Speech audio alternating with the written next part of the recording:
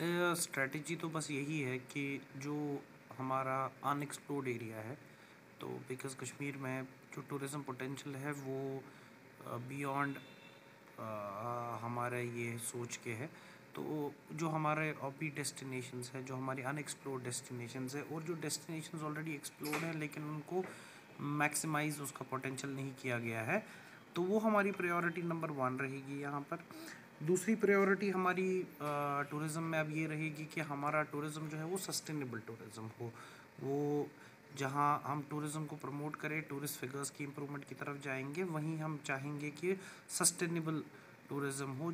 उस जगह की जो सैंक्टिटी है, उस रिजॉर्ट की जो सैंक्टिटी है, उसकी इकोलॉजिकल जो कंडीशंस है, उसकी इकोलॉजिकल नेसेसिटीज़ हैं, उन नेसेसिटीज़ को हम बरकरार रखें।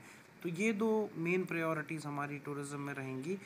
अभी के लिए। अगर आप देखेंगे because of COVID and other issues पिछले एक दो साल से टूरिज़्म पिकअप नहीं कर पाया था but that was mostly due to other issues not because government ने कोई कमी उसमें रखी थी।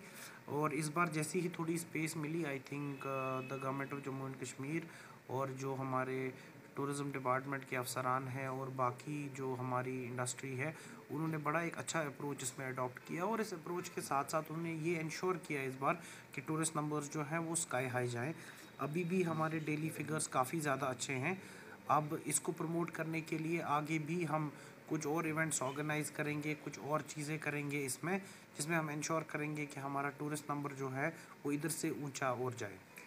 फ़िल्म इंडस्ट्री में सबसे पहले इंपॉर्टेंट ये है कि उनको कॉन्फिडेंस रहना चाहिए कि कश्मीर आके they'll be able to get the same hospitality they'll be able to get the same sort of treatment they'll be able to get the same sort of locations जो वो किसी और डेस्टिनेशन पे एक्सपेक्ट करते हैं। आई थिंक बाय नेचर हमारा hospitality sector हमारा जो कश्मीरीज़ uh, का नेचर है I think it's very hospitable तो उसकी वजह से आई थिंक फ़िल्म इंडस्ट्री को यहाँ आने में कोई दिक्कत नहीं होगी and there is been a considerable improvement in situation in Jammu and Kashmir for the past two two three year जो भी यहाँ इशूज़ थे। तो आई थिंक फ़िल्म इंडस्ट्री को कोई दिक्कत नहीं होगी। I think a lot of good hotels have mushroomed up a lot of new locations are being explored. Sustainably tourism को डेवलप किया जा रहा है और फ़िल्म टूरिज़्म उसका एक बड़ा इंपॉर्टेंट पार्ट रहेगा। हमारा, हम रेगुलर टच में होते हैं फ़िल्म इंडस्ट्री के साथ भी और जब भी हमें मौका मिलता है we try and increase them and there also very keen on coming to Jammu Kashmir अभी रिसेंटली ग्राउंड ज़ीरो की शूटिंग यहाँ Uh, shuru hui. I think it has been concluded also. So i think that is the start of bigger things to come. There is a film policy also that has been developed and many other things will come up.